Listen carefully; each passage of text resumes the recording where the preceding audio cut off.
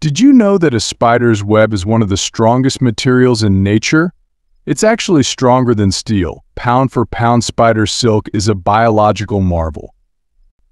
It may look delicate, but it's incredibly tough. Able to absorb large amounts of energy before breaking this strength helps spiders catch prey. When an insect flies into the web, it doesn't just break its stretches and holds tight, absorbing the impact how strong is it?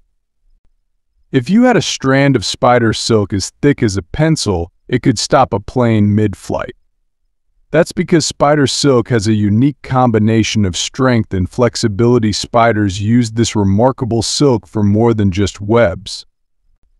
They wrap their prey, create egg sacs, and even use silk lines to float through the air like tiny parachutes. So the next time you see a spider web, remember you're looking at one of nature's toughest materials, stronger than steel,